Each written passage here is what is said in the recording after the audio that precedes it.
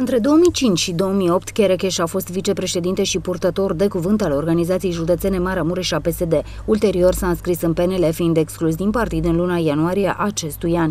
În perioada 2008-2011, Cherecheș a fost deputat. Cătălin Cherecheș este urmărit penal pentru luare de mită și trafic de influență, fiind acuzat că a primit bani de la reprezentanții a cinci firme pentru a le favoriza la achizițiile publice organizate de instituție, la atribuirea și derularea contractelor anunțat DNA în luna iunie. Procurorii Direcției Naționale Anticorupție Serviciul Teritorial Cluj au început urmărirea penală în cazul primarului municipiului Baia Mare, Cătălin Cherecheș, pentru luare de mită și trafic de influență, ambele în formă continuată, precum și pentru efectuarea de operațiuni financiare ca acte de comerț, incompatibile cu funcția pe care o îndeplinește, se preciza într-un comunicat de presă al DNA. Potrivit procurorilor anticorupție în perioada 2011-2013, Cherecheș a primit bani cu titlul de foloase necuvenite de la reprezentanții a cinci societăți comerciale pentru a favoriza aceste firme în procedurile de achiziție publică organizate de primăria Baia Mare, atât cu ocazia atribuirii contractelor, cât și pe parcursul derulării acestora. Procurorii îl mai acuză pe Cherecheș că în perioada februarie-mai, în calitate de primar al municipiului Baia Mare,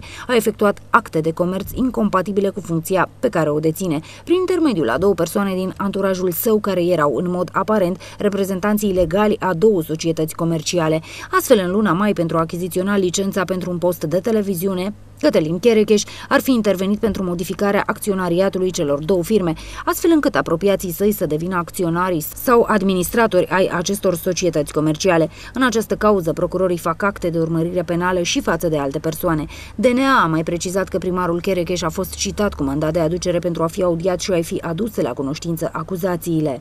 Surse din rândul anchetatorilor spuneau că procurorii DNA Cluj au făcut percheziții la sediul primăriei Baia Mare, la locuința primarului și la mai multe sedii de firme, între care și trustul de presă Emara Mureș. Potrivit presei locale, perchezițiile procurorilor ar avea legătură cu mai multe declarații date de omul de afaceri Ioan Baltă, zis Oniza, administrator XS Sud, companii din Baia Mare. La jumătatea lunii martie, acesta a fost arestat în urma unor percheziții făcute de procurorii bucureșteni într-un dosar în care se fac cercetări pentru înșelăciune și evaziune fiscală.